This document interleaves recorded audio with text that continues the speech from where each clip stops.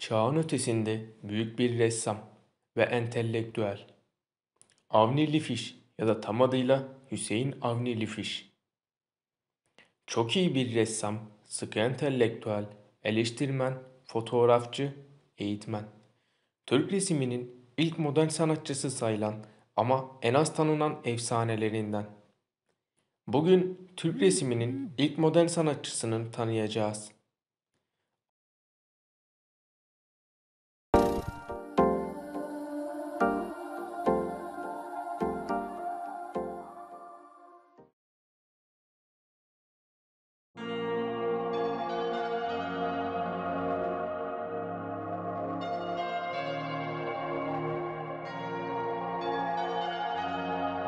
Avni Lifiş 1886 yılında Samsun'un Ladik ilçesinde dünyaya geldi.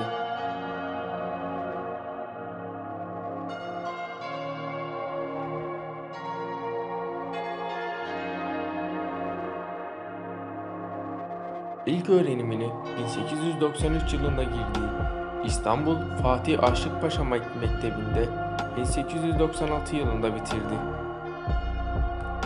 Resim ve müzik sanatına da ilgisi burada artıyordu. İyi ki de öyle oluyordu.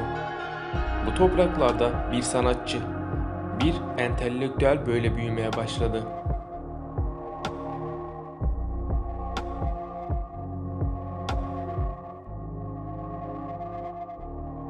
...1896 yılında başladı öğrenimini...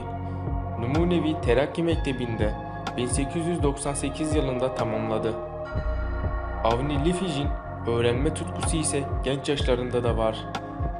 Orta öğrenimini bitirdikten hemen sonra dönemin geçerli dili Fransızcayı İdadi mezunu bir kişiden ders alarak öğrenmeye başladı. Aynı yıl hastalığı sebebiyle eğitimine devam edemedi.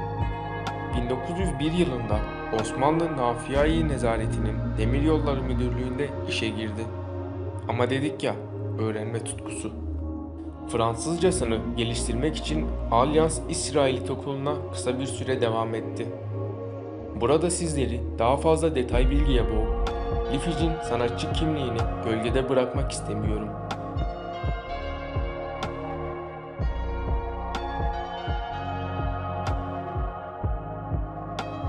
...1904 yılına gidelim. 1904 yılında 18 yaşındayken Ayasofya'da çizimler yapan mimar Henry Prost ile tanışıp arkadaş oluyor. Burada Henry Prost, Lifij'in hayatını değiştirecek adımı atıyor ve onu meşhur kaplumbağa terbiyecisi eseriyle bilinen Osman Hamdi Bey ile tanıştırıyor.